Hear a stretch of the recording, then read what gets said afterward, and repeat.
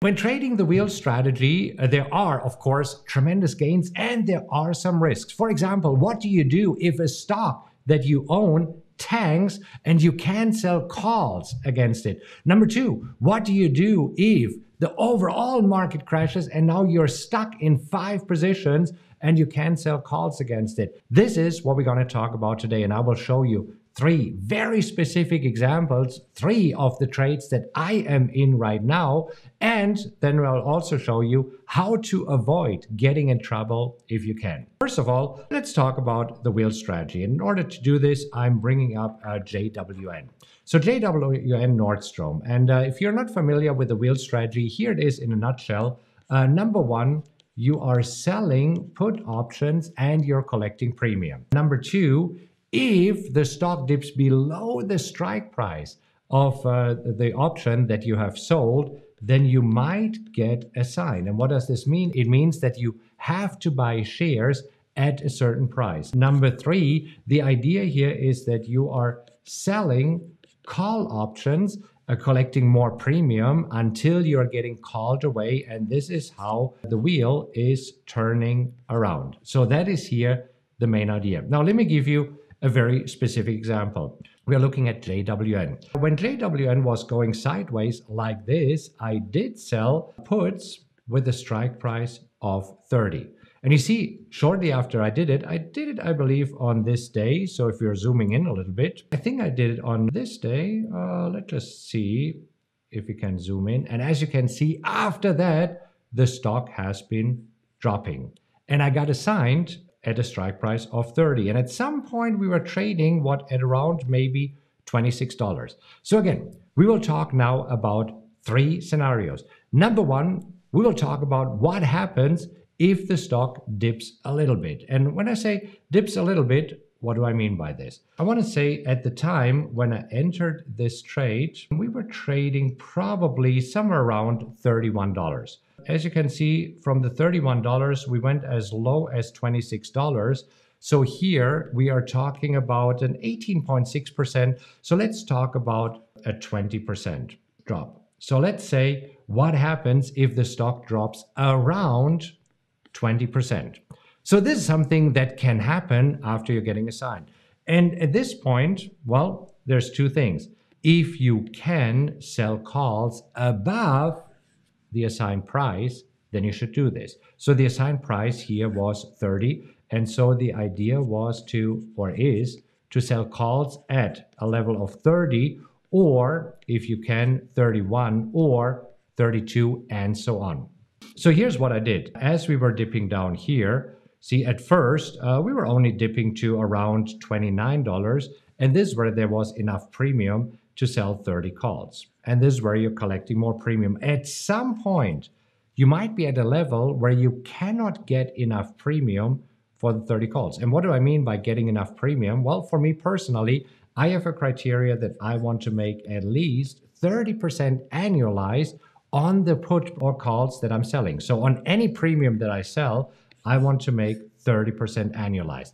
If it is less, I'm not willing to sell calls. And this is what can happen. Now, for you, it might be different. You see, there's many variations of the strategy. And for you, your plan might be different. This is why I have here the mug on my desk that says, follow your plan. So I'm just telling you my plan. And for my plan is that I will not sell any calls or puts if I'm not getting at least 30% annualized. So what do I do if the stock price is hovering at a level where I cannot get 30% annualized. Well, let me show you exactly what I do. In this moment, you have to sit on your hands. There's nothing for me to do until I see that the stock is coming back. So let's switch back here and moving towards my strike price, and I can get enough premium again. And this is exactly what I did here with JWN Nordstrom. So let me show you. Again, I told you I'll show you three examples. So this here is the first. So Nordstrom, I'm switching over to my account.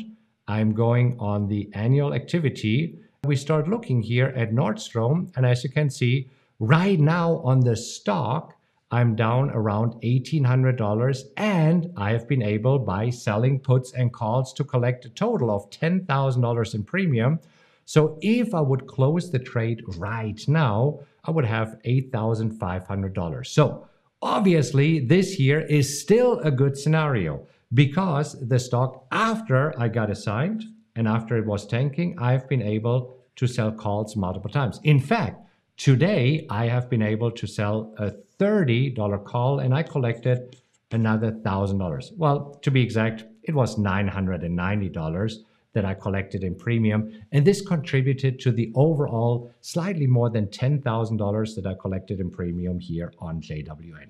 First case scenario, what to do if the stock that you sold puts on tanks, well, if it tanks around 30, uh, 20%, so let's say uh, 15% to 20%, you should be able to sell calls and you got to wait until it comes back to the strike price. So now let's talk about scenario number two.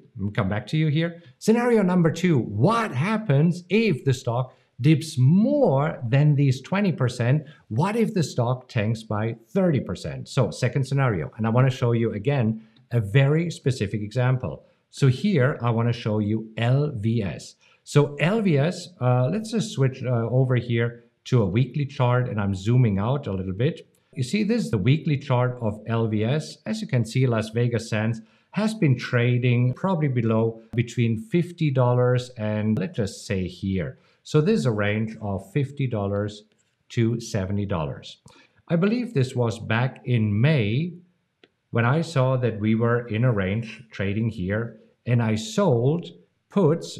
So I sold puts with a strike price of 58. Now, as you can see, after I did this, LVS kept dropping. If you see from a strike price of 58, LVS went as low as 36. Now let's use a, a handy dandy calculator to get an idea how much this drop is. So we're talking about $22 that this stock dropped and we divide it by 58. So this means a total a drop of 38%. So again, what do we do then when we have a 38%? And again, it's different for everybody. I urge you to follow your plan. I'm telling you right now, my plan. Going back to the stock is, is if I see it dropping by at least 30% from the assigned strike price. So if we're going for $58 times 0.7, so this would be a drop of uh, 38%. So if it goes to around $40, so once it drops 30% and is around $40, I like to do something that I call flying a rescue mission. Now, flying a rescue mission is uh, just a, a fancier name of the so called DCA, the dollar cost averaging. So, what does it mean? Well, I do not simply buy more shares, but I keep selling puts at a lower level because the idea here is that I want to collect more premium and if the stock keeps dropping, I will get assigned more shares. Now, when I'm flying the rescue missions, I do it in one thirds. What does this mean?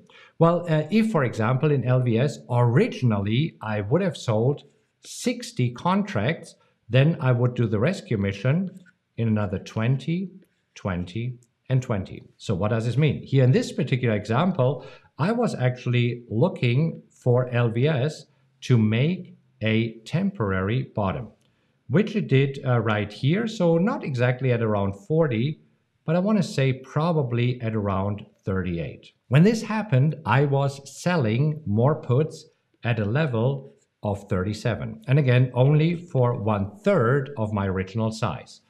So as you can see, it kept dropping below 37 and therefore I did get assigned additional shares. Now this is where the magic of dollar cost averaging comes in and this way I have been able to lower my cost basis from originally $58 to $51.42.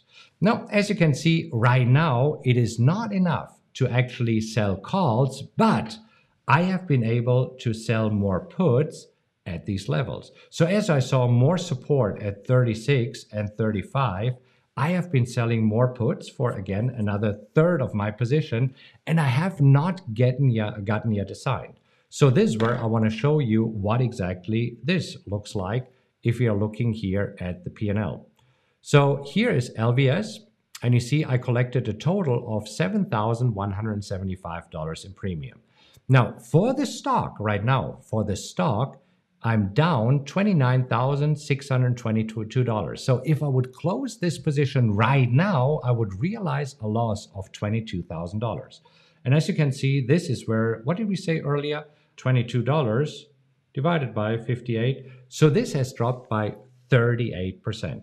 So that, of course, is not good. So as the stock has dropped here, the first scenario that we had with JWN, as long as we're dropping 15 to 20%, no problem. When we are dropping 30 to 40%, this is when I fly a rescue mission and I can sell more puts, collect premium, and I have to wait until it comes back up. If I would realize this loss right now, I would be setting at a loss of around $22,000 to be exact 22,538. Keep in mind that the account that I'm trading is a larger account. And I know that recently there have been some discussions if if I can call it a $250,000 account or a $500,000 account or a million dollar account. So here here's what happened. On January 11th, I opened an account with $250,000 in this account I opened a margin account. So on January 11th, that gave me a buying power of $500,000. So I've been calling it a $500,000. Is it a $500,000 account right now? Well, I realized some profits. There's some unrealized profits in there. So you call it whatever you want to do. I called it lovingly the $500,000 account. You get the idea. I started with $250,000 in cash use the buying power here, and this is what the account is. So I just wanted to put this in perspective. So if I realized a loss of $22,000 based on the original equity that I put in, it's probably what around 8 or 9% of the original equity. So two scenarios, and I promise you that I will talk about three scenarios, and then we'll also talk about what happens if all of the positions are getting assigned. So the first scenario was down 15 to 20%. The second scenario was down 30 to 40%. Now let's talk about the third scenario. And the third scenario is if the stock keeps tanking. So let's go back here and let's talk about the famous or infamous Ride trade. So let me show you what happened here. This is where I told you that I entered this trade in February 2021. I violated my rules, and we'll talk about this. I sold puts with a strike price of 21.50. And as you can see, right, at this point was probably trading around $24 and has been going down ever since. Right now, as of today, it is trading at around $5. So this means that right now, the stock is down $19. If we divide this by 24%, so this is a whopping 80%. So, scenario three what do you do when the stock is down 80%? Well, first of all, it did not go down 80% right away. At first, we had scenario one where the stock went down 15 to 20%. So, what do you do there? Sell calls. And this is what I've been doing. In the beginning, I was able to sell some calls on a ride and collect more premium. Now, then we had scenario two where we were going down around 30% to 40%.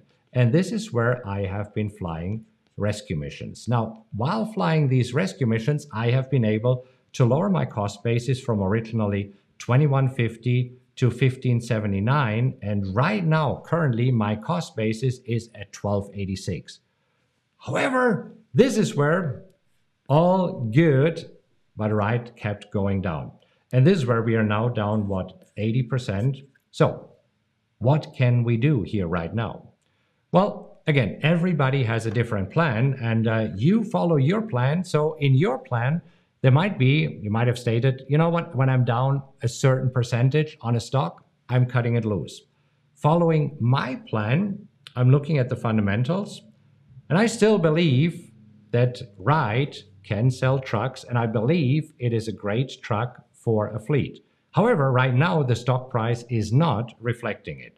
So let's talk about this. This is where an original short-term investment became a long-term investment because I have been in this trade for quite a while, as you know, as you have been following me. So what can I do? Well, two possibilities.